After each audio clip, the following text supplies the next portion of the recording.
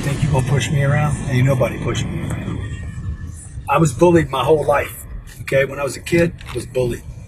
First by my big brother, second by my twin brother, and third by almost everybody in school. Junior high school, I was bullied by little Rodney.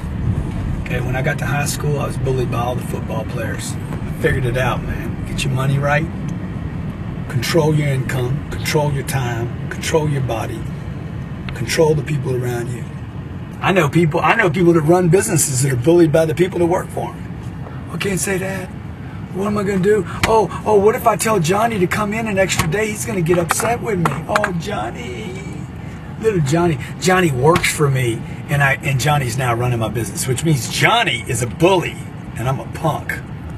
So look, the next time you think about bullies, you're like, I'm, I'm, I'm not going to let anybody bully me. What you need to say is this I'm not going to be a punk anymore.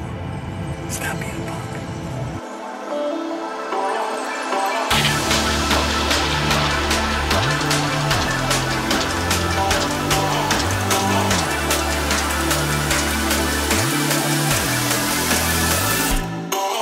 Oh.